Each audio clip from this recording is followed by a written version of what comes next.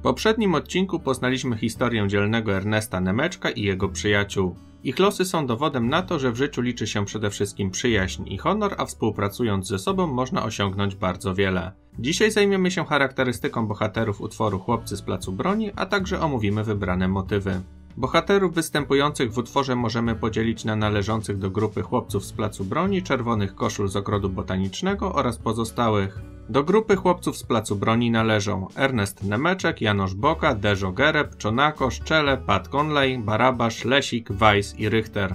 Do grupy czerwonych koszul należą Ferry Acz, bracia Pastorowie, Wendauer, Sebenicz oraz inni chłopcy. Wśród pozostałych bohaterów można wymienić profesora Raca, ojca Gereba, rodziców Nemeczka oraz Słowaka Jano z psem Hektorem. Chłopcy z Placu Broni spotykają się na Placu Broni mieszczącym się przy ulicy Pawła.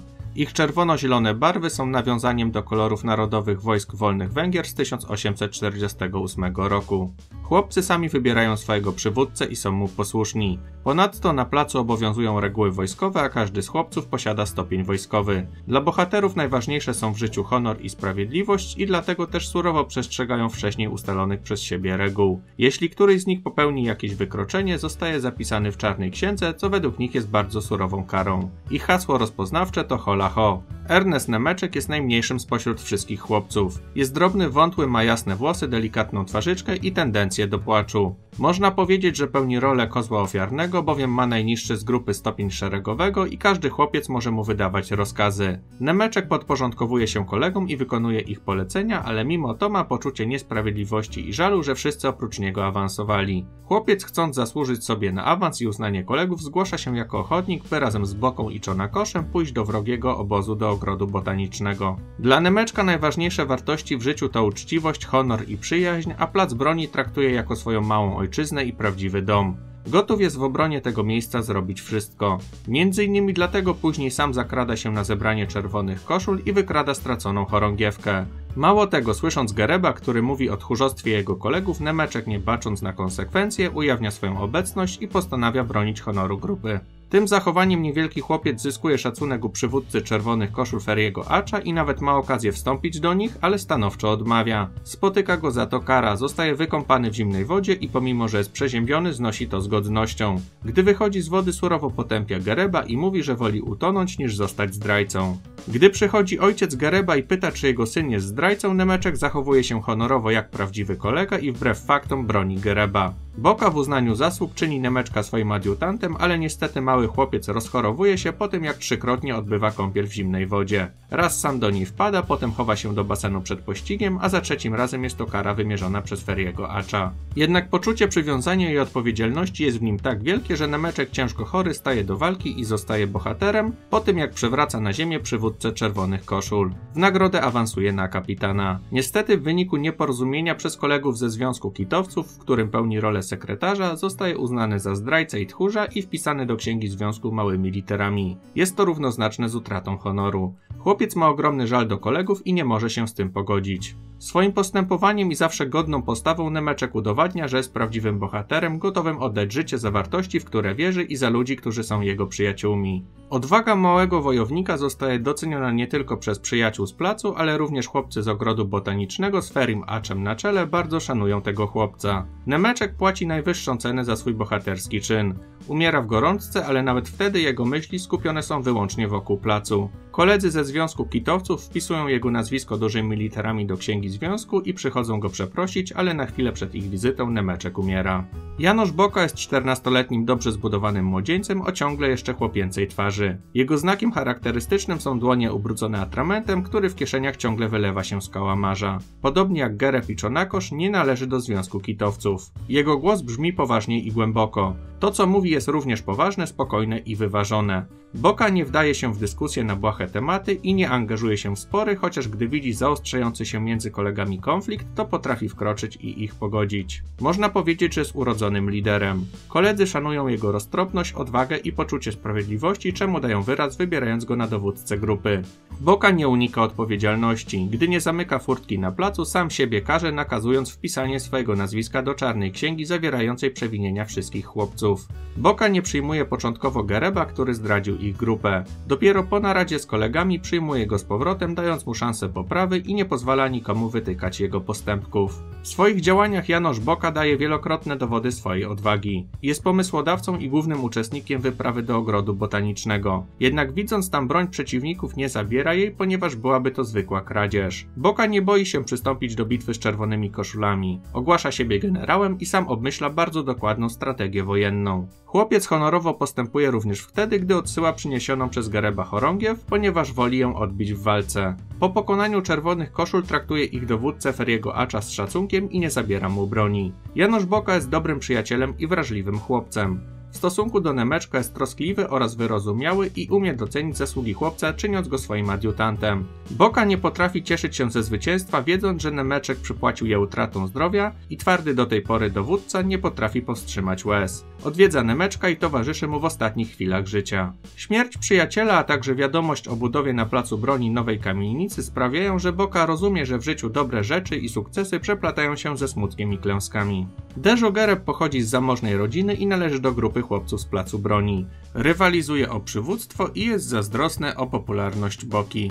Charakteryzuje się gwałtownym usposobieniem i jest zuchwały. Zawiść doprowadza go do zdrady kolegów i współpracy z paczką czerwonych koszul, którym zdradza jak najłatwiej dostać się na plac. Ponadto sam postanawia zadbać o zdobycie placu bez walki i próbuje przekupić stróżującego Słowaka, by przegonił jego dawnych kolegów. Gereb przysięga wierność czerwonym koszulom, a gdy po wizycie Nemeczka Ferry gardzi nim, chce wrócić do kolegów z placu. Z czasem zaczyna rozumieć, jaką podłość wyrządził kolegom i stara się wrócić do grupy, ale początkowo zostaje odrzucony. Jego ojciec chce być pewny, czy Deżo jest uczciwy i Nemeczek zaświadcza o jego niewinności. Wtedy Gareb pisze list do chłopców, w którym przeprasza za swoje czyny, prosi o ponowne przyjęcie i zaświadcza o swojej lojalności.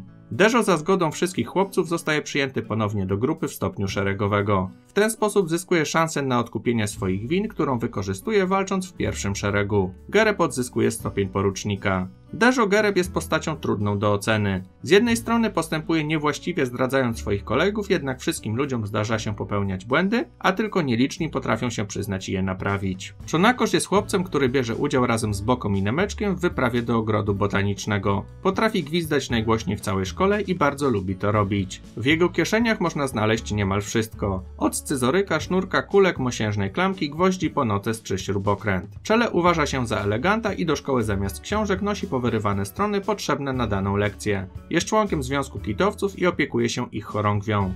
Jego siostra szyje chorągiewki zarówno dla Związku Kitowców, jak i chłopców z placu broni.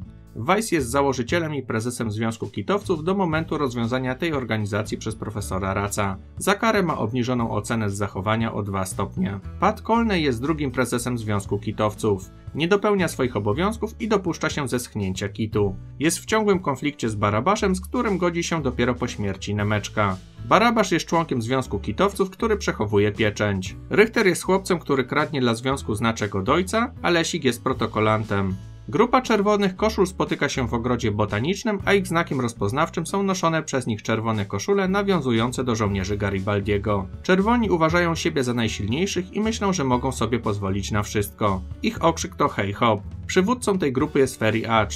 Jest to barczysty, dobrze zbudowany chłopiec o przyjemnym wyglądzie. Cieszy się złą sławą, mówi się, że został wyrzucony ze szkoły realnej. Jest silny oraz odważny i zabiera chłopcom z placu broni ich chorągiew. Następnie chce przejąć ich plac, aby zyskać atrakcyjne miejsce do gry w Palanta. Jest honorowy i nie toleruje nieuczciwych metod i ostro potępia Gereba, który chciał przekupić stróża. Również surowo traktuje swoich kolegów braci pastorów, którzy zabrali słabszym chłopcom kulki i nakazuje im kąpiel w zimnej wodzie. Ferry Acz potrafi docenić odwagę i męstwo przeciwnika i nakazuje swoim kolegom oddać cześć Nemeczkowi, który robi na nim bardzo dobre wrażenie. Przywódca czerwonych koszul wykazuje pewne elementy wrażliwości. Ma wyrzuty sumienia z powodu choroby Nemeczka i osobiście zjawia się pod jego domem, a także wysyła tam delegacje. Podczas walki o plac wykazuje się męstwem i odwagą, chociaż w obliczu zbliżającej się klęski próbuje złamać ustalone wcześniej reguły i chce uwolnić uwięzionych kolegów, ale zostaje powstrzymany przez dzielnego Nemeczka.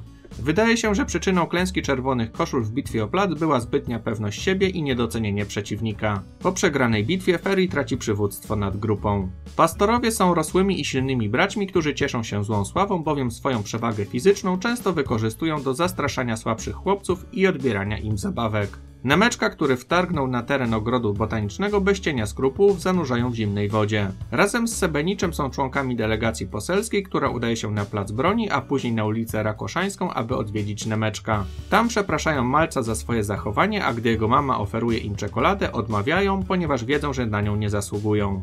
Sebenicz to chłopiec należący do czerwonych koszul, o którym powiedzielibyśmy, że nie grzeszy rozumem. Dwukrotnie błędnie kieruje pościg za Boką Czonakoszem i Nemeczkiem. Sebenicz wchodzi w skład delegacji parlamentariuszy, a w bitwie nosi chorągiew chłopców z placu broni. Wendauer należy do czerwonych koszul i podczas bitwy pełni rolę trębacza w oddziale pastora, mając dać sygnał, ale zostaje zamknięty w budzie. Pozostali bohaterowie występujący w utworze to profesor Rac, który jest nauczycielem łaciny, rozwiązuje związek kitowców, a jego członkom udziela nagany i nie zezwala na zakładanie jakichkolwiek stowarzyszeń. Jano jest Słowakiem ochraniającym tartak i plac. Jest przekupny, bowiem za cygara ma przepędzić chłopców z placu, ale nie dochodzi do tego. Ostatecznie dobrze życzy chłopcom.